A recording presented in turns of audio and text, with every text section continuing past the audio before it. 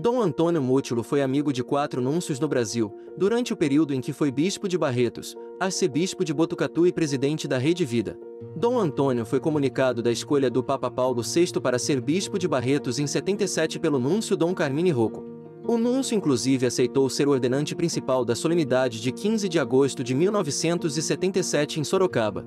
Foi Dom Carlo Furno quem comunicou a Dom Antônio sua transferência para arcebispo de Botucatu em 89. Foi o Núncio Dom Alfio Rapisada quem comunicou, em 2000, que o Papa João Paulo II havia acolhido seu pedido de renúncia por idade. Dom Lorenzo Baldisseri foi Núncio entre 2002 e 2012. Dom Giovanni Daniello assumiu em 2012, ano em que Dom Antônio Mútilo faleceu. Antônio da Rede Vida, frente a frente com a missão de comunicar.